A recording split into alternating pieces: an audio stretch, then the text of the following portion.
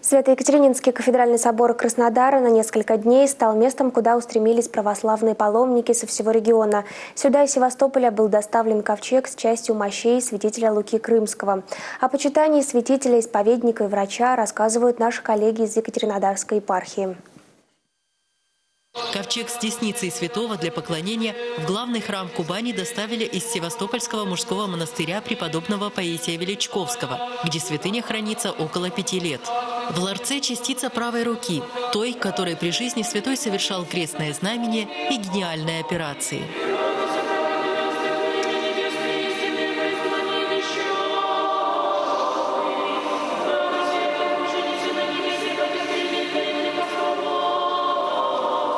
Свое время мощи были преподнесены Паисьевскому монастырю, ныне покойным блаженнейшим митрополитом Владимиром.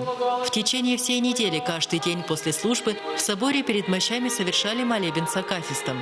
Ковчег со святыней периодически выезжает за пределы своей обители. В Краснодар мощи доставили впервые. Посетили уже много и городов, и стран. Были за границей. Э, Германия, Швейцария, Греция, Кипр. И везде были интересные случаи, даже были случаи исцелений, о чем нам пишут и в письмах, и подтверждается, и в отчетах, э, которые предоставляют митрополиты, приглашающие стороны, отсылают в Киев на имя блаженнейшего митрополита, где рассказывают о тех чудесах, которые происходили в мощи святителя Луки.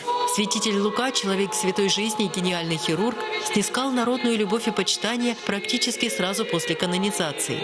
В каждом храме есть его образ. В кафедральном соборе также имеется его писаная икона с частичкой мощей.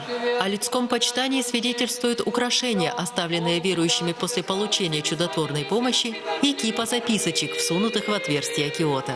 В ковчеге, который привезли в Краснодар для поклонения, хранится не только десница, но и часть облачения святого. Это амафор святителя Луки, который он носил на своих плечах, когда совершал божественную литургию. Нам она, эта святыня досталась из Тамбова, открыли музей и нам подарили часть его облачения, которое теперь тоже у нас хранится. Каждый день в течение недельного пребывания святыни в Краснодаре в собор приходили верующие. После Кубани десница крымского епископа продолжит путешествие по Северному Кавказу. Из Краснодара ковчег с мощами святителя будет доставлен в Ростов-на-Дону и в Ставрополь.